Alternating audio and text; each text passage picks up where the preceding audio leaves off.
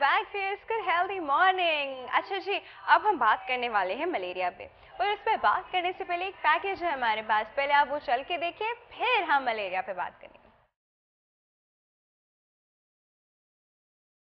Malaria کی مرض پرانے زمانے سے چلی آ رہی ہے. سب سے پہلے ڈاکٹر لیرون نے ملیریا کے جراثیم کا پتہ لگایا.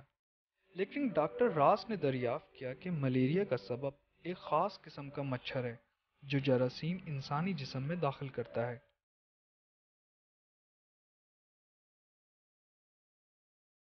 اس مادہ مچھر کا نام اینافیلس ہے۔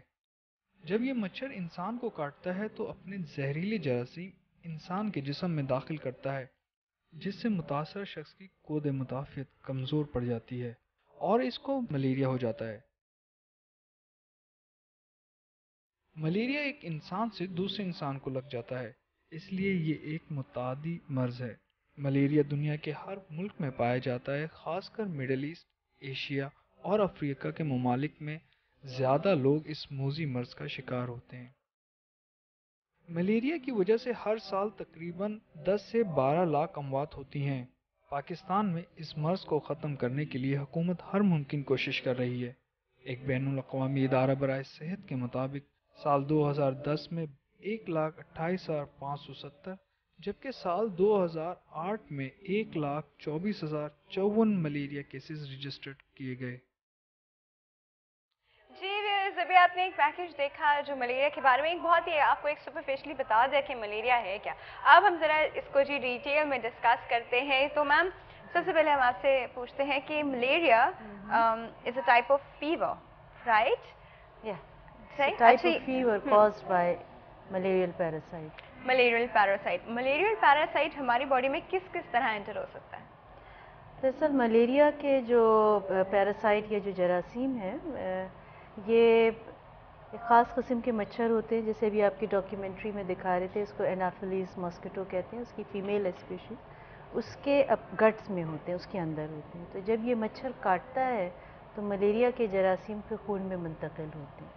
اور خون میں منتقل ہونے کے بعد یہ مختلف سرکولیٹ کرتے ہیں لیور میں جاتے ہیں پھر خون کے جو سرخ خلیات یا آر بی سیز ہوتے ہیں وہ اس کے اندر جا کے ملٹیپلائی کرتے ہیں۔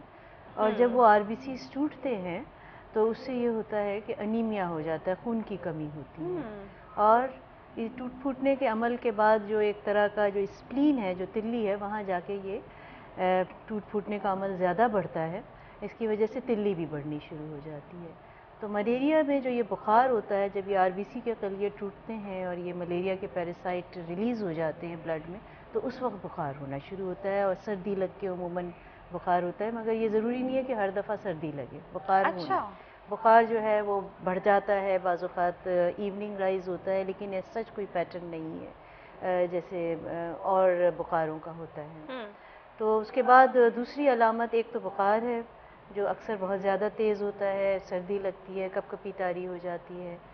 دوسری یہ جو آپ نے بھی کپ کپی کا بتایا یہ کسی اور فیور میں بھی ہو سکتی ہے؟ بہت سارے فیورز میں ہوتی ہے اچھا، ہمارا مینلی جب شیور کسی کو ہوتا ہے تو کہتے ہیں اس کو ڈیفینیٹلی ملیریا ہے ملیریا بہت کامن ہے پاکستان کیونکہ انڈیمک ایریا میں ہے ان علاقوں میں ہے جہاں ملیریا کے مچھر جو ہیں بہت زیادہ تعداد میں پائے جاتے ہیں۔ تو اس لیے سب سے کامن کاز سمجھا جاتا ہے کہ ملیریا ہے۔ اس کے بعد بہت سارے ہیں۔ یورین کی انفیکشن ہے اس میں بھی کب کبھی تاری ہو سکتی ہے اور بہت سارے فیور ہیں۔ کیونکہ یہ کامن ہے اس لیے شاید لوگ کہہ دیتے ہیں کہ ملیریا ہے۔ ویسے بھی کسی بھی علاقے میں اگر پانچ دن سے زیادہ فیور رہے اور بظاہر اس کی کوئی اور وجہ نہیں سمجھ میں آ رہی ہے تو ایون ڈبلیو ایچ او کا بھی یہ ہے کہ آپ اس کو ملیریا سمجھیں۔ تو دوسری علامت جیسے میں بتایا کہ خون کی کمی ہو جاتی ہے کیونکہ ملیریا کے جراثیم کا حملہ ڈائریکٹلی خون کے سرخ خلیات پہ ہوتا ہے جس کو آر بی سیز کہتے ہیں۔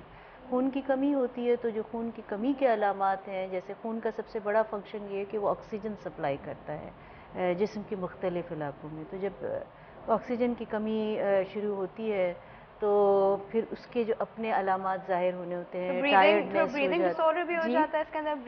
بلیڈنگ اس وقت ہوتی ہے جب سفید خون کے ذریعات جو ہوتے ہیں جس کو ہم پلیٹلیٹ کہتے ہیں وہ بھی افیکٹ ہو سکتے ہیں بالکل نمونیا کی طرح کے علامات ہو سکتے ہیں کھانسی ہو سکتی ہے اس کے علاوہ سانس کی تکلیف ہو سکتی ہے شارٹنیس آف بریدنگ ہو سکتی ہے۔ یہ تو عام علامات میں ہے۔ فٹیگ ہو جاتی ہے جسم میں درد شروع ہو جاتا ہے بہت زیادہ تھکاوٹ ہوتی ہے۔ بچوں میں یہ علامت اور زیادہ واضح ہو جاتے ہیں کیونکہ ان کی امیونٹی ویسے لو ہوتی ہے آپ کی اور ہماری تو